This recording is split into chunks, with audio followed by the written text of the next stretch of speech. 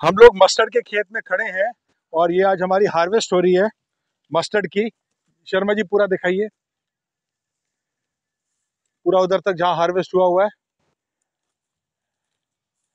And quickly come on this side अब इधर ले आइए कैमरा ये हमारी टीम यहाँ काम कर रही है। राजेंद्र है, गायत्री है, भूपेंद्र है और भी साथी लोग हैं। और ये काली सरसों की हार्वेस्ट हो रही है हमारे अपने ही खेत में organically and the oil we bring to you, we cold extract the oil and we do not filter it. We let the oil rest. Very important.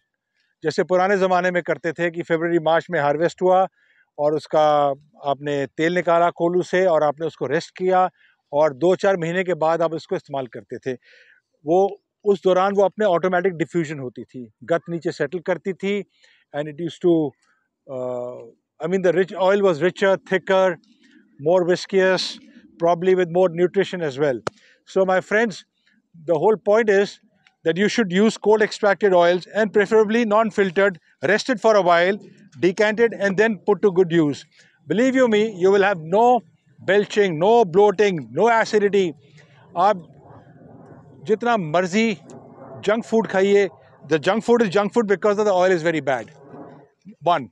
So use cold extracted oils, whether it's mustard, groundnut, sesame, pili sarso, anything. Thank you.